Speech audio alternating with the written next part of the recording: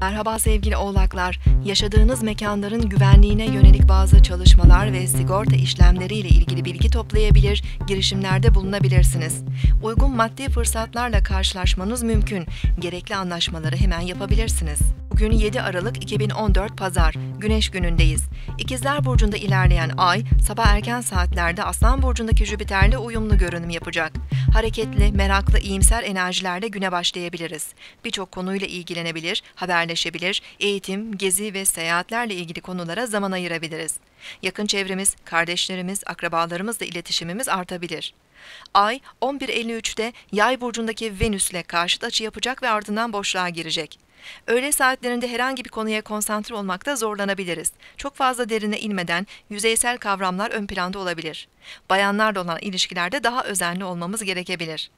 Ay akşam 19.35'te Yengeç burcuna geçecek.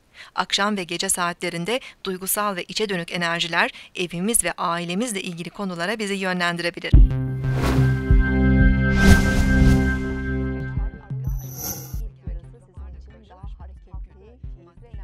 taşırken ikinci yarısında